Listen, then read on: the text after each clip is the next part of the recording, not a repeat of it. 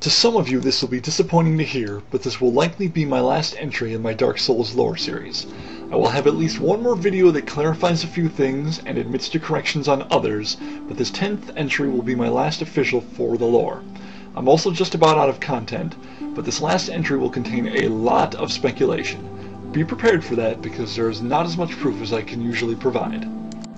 I'm going to come right out and say it. I believe the goddess Velka to be the Maiden in Black. Well, it's probably more accurate to say that the demon soul inside of the Maiden in Black is that of Velka. The primary reason Velka exists, or what she exists for, is to punish sinners and seek their absolution. She does this through the exterior use of the Dark Moon Blades. They seek out sinners of all kinds. Their targets are ranked higher on their kill list through the use of indictments, sold by Oswald. The indictment description reads, Slip sold by Bishop of Velka, Goddess of Sin. If you are killed by an invader, use this to report the crime of that trespasser. The indicted player will be added to the list of unfortunate souls who will one day face the wrath of the Blades of the Dark Moon. Similar wording can be found about the Book of Guilty. The goddess of sin, Velka, oversees the list of guilty who have disrespected the gods of their covenants. There are a few very interesting elements about these descriptions, in my opinion at least. Oswald and all of those who sell indictments are known as bishops, which implies a holy religion of sorts. However, Velka is called the goddess of sin. Now, she's obviously not a sinning goddess, as we know, but instead one who oversees and controls sin. I find it strange that the clarification of punishing those who betray their covenants is established. It doesn't seem like the religion following Velka would discriminate sin in this fashion, but they do, and I believe there is a reason. Lastly, there is an apparent allegiance with the Dark Moon Blades. While this covenant is punishing sinners and serving Gwyndolin, what they are secretly doing most is countering the work of the Dark Lord. It's my theory that Velka and Gwyndolin are in league with each other, both attempting to stop the Dark Lord, but for different reasons. Gwyndolin wants to stop the Pygmies' plans anyway. However, what Velka truly wants is to stop the Dark Lord, who, who is, if you've watched my earlier entries, I believe to be the old one, the big boss from Demon Souls. Also, you guys should uh, have a mental laugh at how sometimes impossible it is to say indictments correctly. Instead, you say indictments, and I said Maiden in Black, Maiden in Black, so many times while recording the section before this one. Alright, back to it. Some other things about Velka is her connection with certain miracles. The Vow of Silence reads, Secret rite of the black-haired witch Velka. Velka, the goddess of sin, is a rogue deity but she is versed in arts both new and old, and she is considered to have a great range of influence even as the gods are concerned.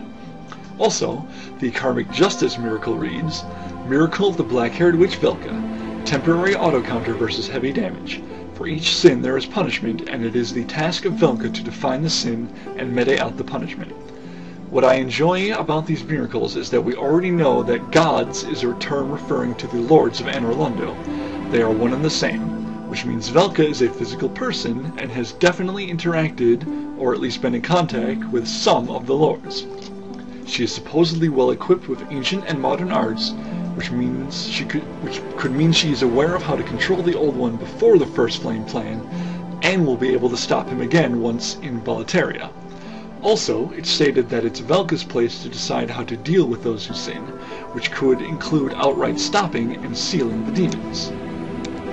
Now hold on to your butts, because this is where the major speculation begins.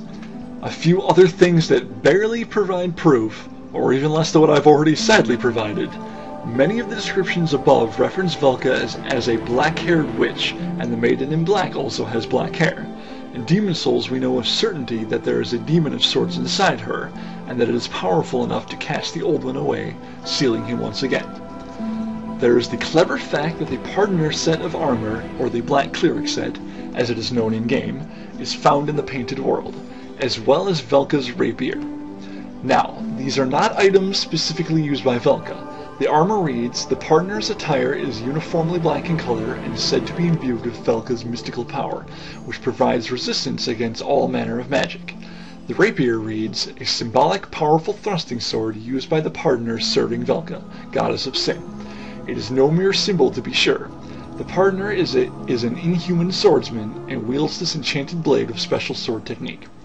let's pause there a moment before we come to the location of these items. Back to the location of these items.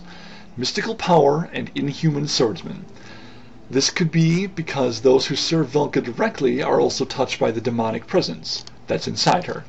Now, lastly, these items are found in the painted world of Arrhabaeus. Of course, that is where Priscilla resides. Seems strange that an abomination who all others despise, including her own mother, would be sought for absolution. Priscilla is in fact the epitome of sin, a child born between a lord and a dragon. What, is what if Arrhabaeus was a pardoner, and he did not die from some violent cause, but eventually from natural causes? I believe that Velka sought to keep Priscilla purposefully safe because she has the life hunt ability. Seath, Seth, Seath, excuse me, failed to capitalize on this, and so Velka swoops in hoping that Priscilla will take the opportunity to kill the upcoming Dark Lord. While he is still an undead, while she or anyone can. After Gwyn is dead, not even the life hunt will be worthwhile. As for why then Priscilla gives the player a choice to fight or not, we can't be sure.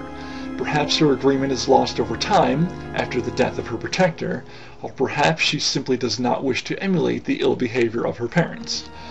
What she seems to want the most is simply for the player to move on, to leave her safe haven, which was granted to her by Velka. There is even a small relation to the mask of Velka in her choice of words. The description for the mask goes, Mask worn by the pardoners serving Velka, the goddess of sin. The pardoners listen to the confessions of sinners, urging reflection and salvation. The, their masks symbolize separation from worldly desires. Meanwhile, Priscilla's dialogue is, Who art thou? One of us thou art not. Us, being, being the absolved. Continuing, If thou hast misstepped into this world, plunge down from the plank and hurry home. If thou seekest I, thine desires will not shall be requited not. Thou must returneth whence thou came. This land is peaceful, its inhabitants kind, but thou dost not belong. I beg of thee, plunge down from the plank and hurry home. Her wording choice is even similar to the Maiden in Black, which could mean that Velka oversaw the upbringing of the child after a certain point.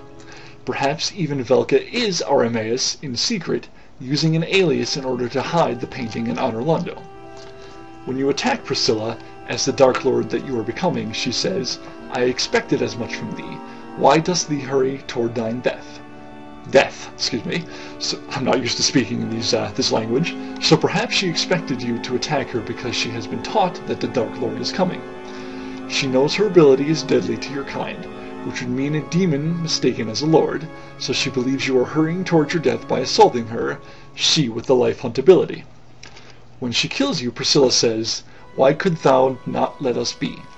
Didst thou not see why Arrhabaeus created this world?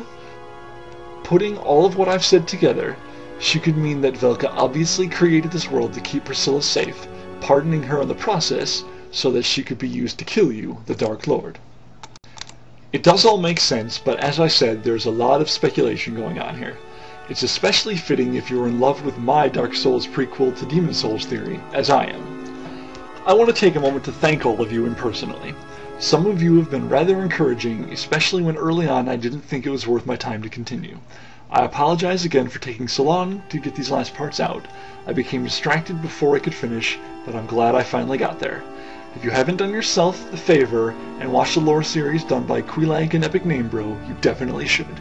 They are both smarter than I, and Quelaag draws better, while Epic creates masterful videos. I don't know what my next project will be. I'm considering finding a way to purchase a digital camcorder so that I can record some in-game footage. As far as lore goes, I've been requested to do a couple of things, but nothing of yet has my interest. I still look forward to making more vids in the future, and once again, I love you all.